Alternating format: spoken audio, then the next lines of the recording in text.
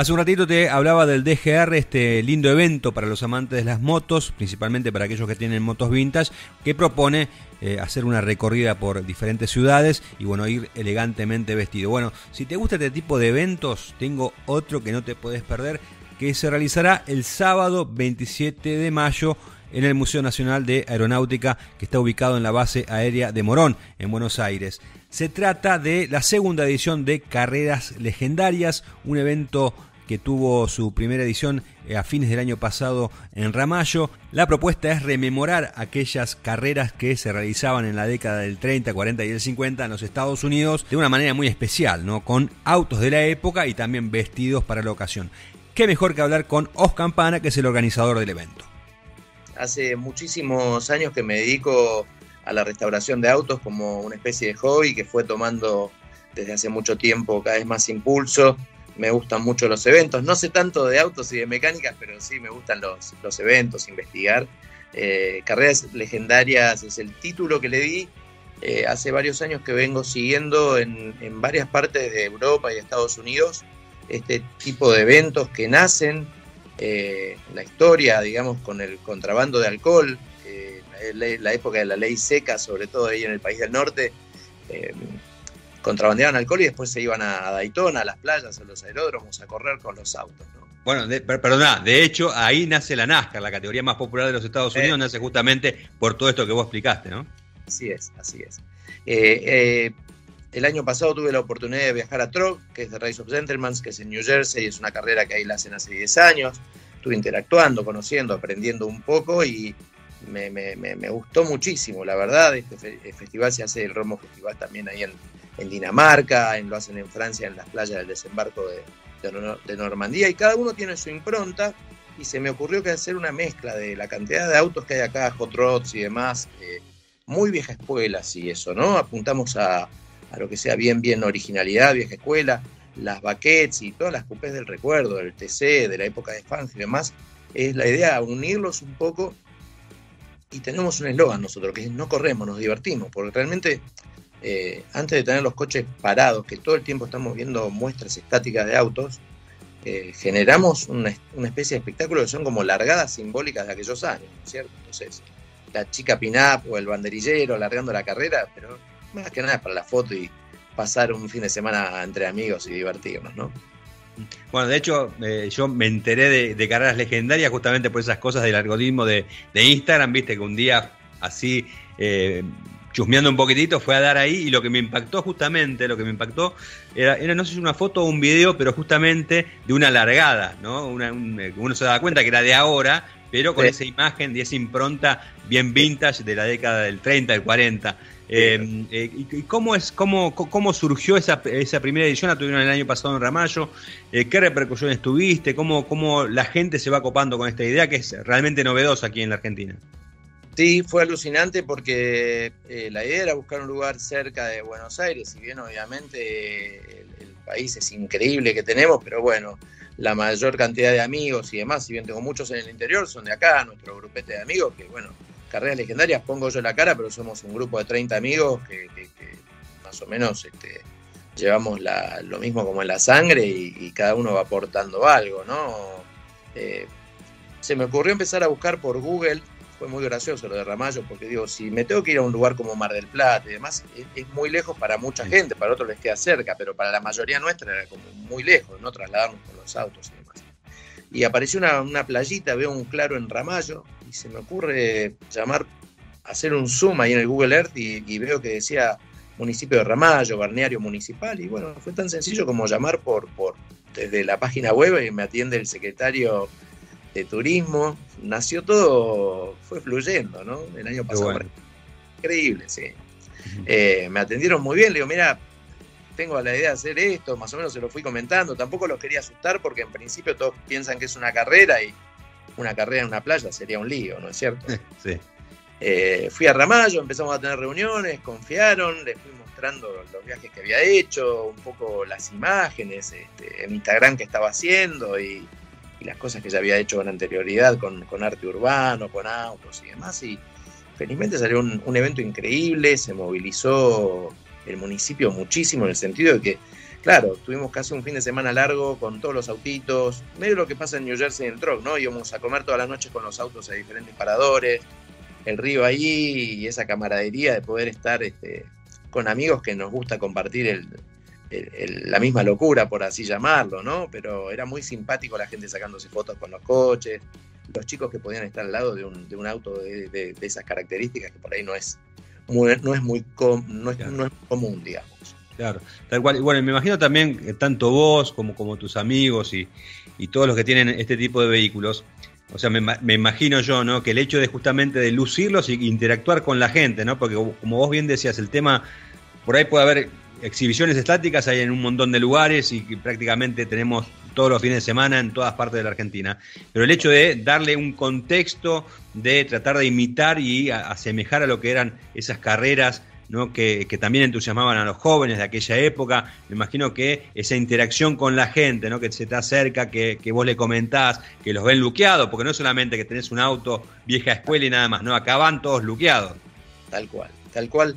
Eh, lo llamamos también como un homenaje a los maestros de los motores, ¿no? Y surge esta impronta de, hacer ahora el 27 de mayo en la base aérea nada más y nada menos en un lugar que hay más de 65 aviones que están restaurados, que estuvieron en Vietnam, que estuvieron en la guerra de Malvinas, eh, los primeros vuelos, está el avión que, volaba el escritor del Principito, en fin.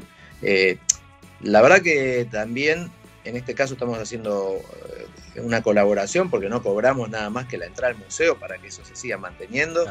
Y, y, lo que queremos es despertar el interés en los jóvenes, ¿no? que saquen el auto del abuelo, que lo pongan en marcha y, no tienen que venir a correr a nada, es ponerse un mameluco, unas antiparras y venir a, compartir eso que decís vos, ¿no? Sentir eh, como antes, como antes, pero ahora, digo, yo tengo ese eslogan, ¿no? Este, que lo más moderno sea el teléfono, la cámara de fotos, y que después tratemos como estar dando ese ejemplo de los caballeros de la vieja escuela, eh, la ayuda, la solidaridad que había en las carreras, este, y bueno, aprender también, que los jóvenes puedan aprender algo diferente, engrasarse las manos un poco, en fin. Claro, que no todas electrónica o motores eléctricos, ¿no? Tal cual. No, que también está bueno, pero que a mí me gusta que no olvidarnos de lo analógico, ¿no? Claro. Y tal ya abunda bastante, entonces no olvidarnos de lo, de lo analógico. Eh, Os, y en, en, esta nueva exhibición, ¿qué tipo de vehículos vamos a poder ver? Yo ahí estuve viendo los videos que vos me estás compartiendo, son algunas joyitas realmente muy, muy bonito, pero ¿qué tipo de auto como para entusiasmar un poco a la gente que pueda ir el próximo 27 ahí a, la base aérea de Morón?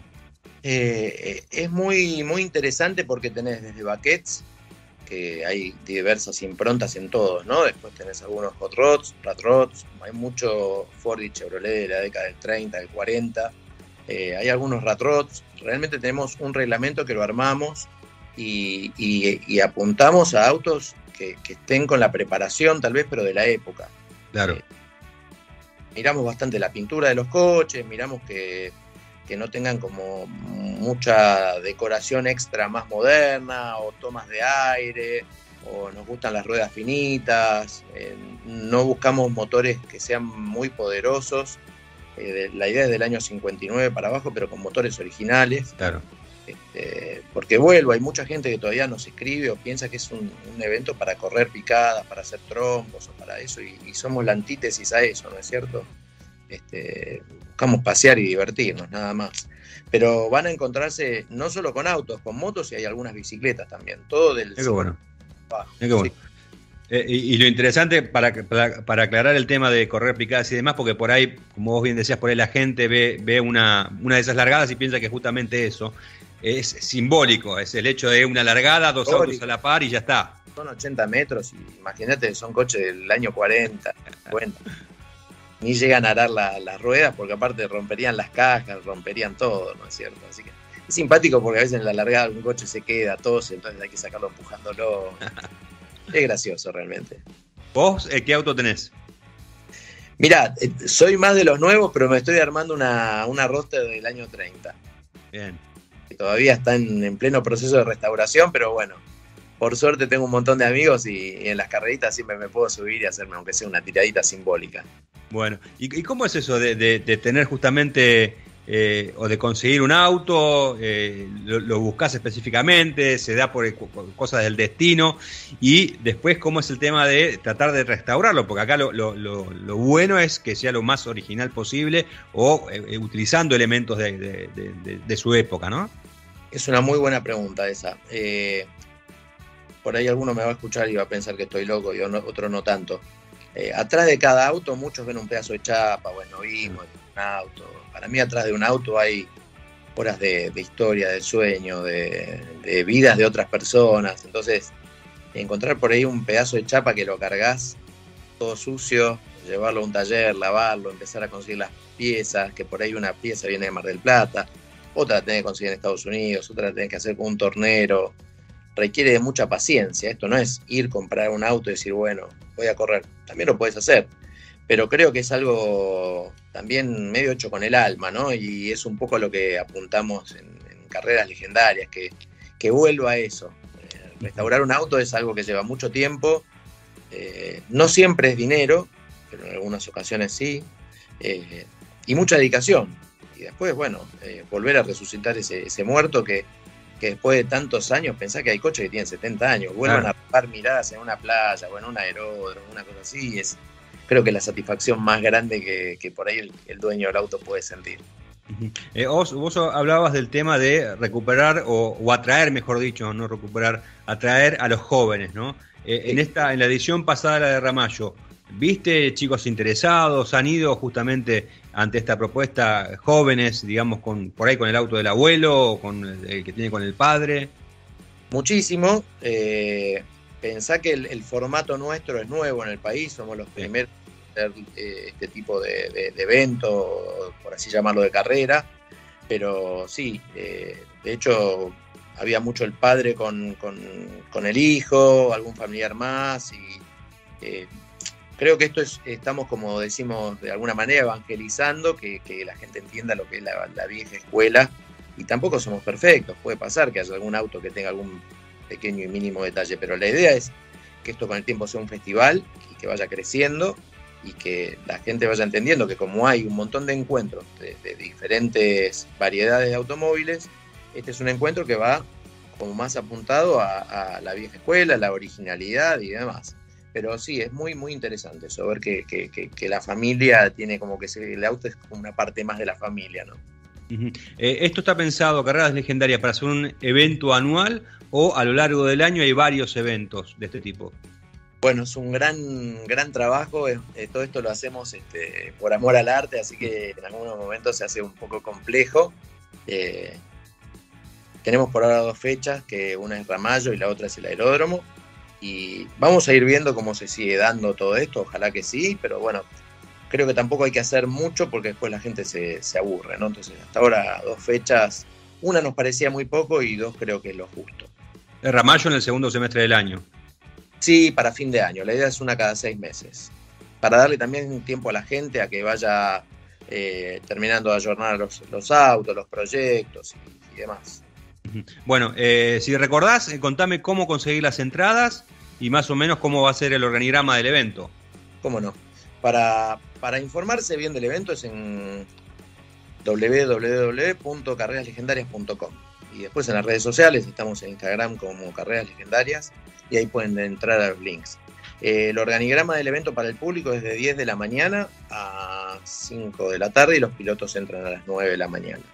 Mm. Eh, de 10 de la mañana a 11 y media, 12 es eh, el ingreso, la acreditación y solamente entra el piloto un acompañante y en las motos solamente el, piloto de la, moto. La idea es armar frente a esos aviones que están exhibidos ahí en la, plataforma, los autos, que todos se puedan tomar fotografías y tener ese recuerdo también, ¿no? De la moto y el auto que siempre fueron de, la mano. Eh, hay una ceremonia de inauguración que será entre las 12, 12 y media y de 1 a 4 en, otro sector de la pista que está alejado y en un lugar obviamente con las condiciones de, seguridad apropiada para estas mínimas representaciones y que el público va a poder ver desde atrás de un, perímetro alambrado. Este, empezarían las recreaciones que no tiene ningún organigrama en especial, como tal cual lo hacen en otros festivales, como tampoco ellos compiten, es un auto al lado del otro y van arrancando, saliendo y tomándonos fotografías y demás. Ahí vos me habías pasado el organigrama, algo que me llamó la atención. Comida de época, mucho hot dog, me imagino. No, bueno, tenemos unos amigos que, no voy a decir la marca, pero que tienen unos ahumadores y van a hacer este, comida que tiene que ver un poco con, con aquellos años por ahí. No hay bebidas alcohólicas en en la base aérea, que tampoco realmente nos interesa mucho.